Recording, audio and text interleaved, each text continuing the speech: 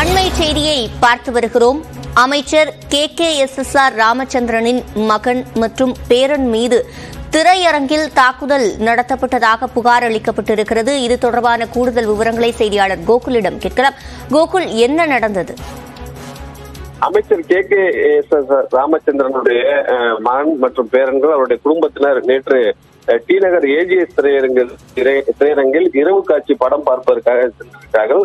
படம் பார்க்கும்போது அருகாமையில் இருந்த நபர்கள் அதிக சத்தம் எழுப்பியதாக கூறப்படுகிறது. இதை அமைச்சருடைய பேரன் தட்டி கேட்டதாகவும் அதனால் ஆத்திரமடைந்த அந்த நபர்கள் அவர்களை தாக்கியதாக கூறப்படுகிறது. தொடர்ச்சியாக அமைச்சருடைய மகனுக்கு இதில் காயம் ஏற்பட்டு அமைச்சருடைய மகன் திரிப்ஸோட அப்போலோ மருத்துவமனையில் சிகிச்சைக்காக நேற்று இரவு அனுமதிக்கப்பட்டுள்ளார். அவருக்கு சிகிச்சை முடிந்து காலையில் வீடு திரும்பியிருப்பதாக தற்பொழுது தகவல் கிடைத்திருக்கிறது.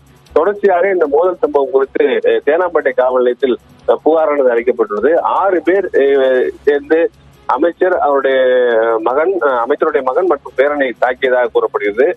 தேனாம்பேட்டை போலீசார் வழக்கு பதிவு செய்து திரையரங்கில் உள்ள சிசிடிவி காட்சிகளை பார்த்தும் அதே போல அருகாமல் அருகாமையில் இருக்கக்கூடிய சிசிடிவி காட்சிகளை ஆய்வு செய்து யா- தாக்குதல் நடத்திய நபர்கள் குறித்து விசாரணை மேற்கொண்டு வராங்க. ஆறு பேர் தாக்கியதாக கூறப்படுகிறது. இதில் திருநங்கை உட்பட நபர்கள் இருந்ததாகவும் கூறப்படுகிறது. இது குறித்து விசாரணையானது மேற்கொள்ளப்பட்டு வருகிறது. அமைச்சருடைய மகன் நேற்று காயமடைந்து மருத்துவமனையில் சிகிச்சை பெற்று தற்பொழுது வீடு திரும்பியுள்ளார். அஹ், தேனாம்பேட்டை போலீசார் வழக்கு பதிவு செய்து இந்த மோதல் சம்பவம் குறித்து தீவிர விசாரணை மேற்கொண்டு வராங்க. விவரங்களை வழங்கியமைக்கு நன்றி கோகுல்.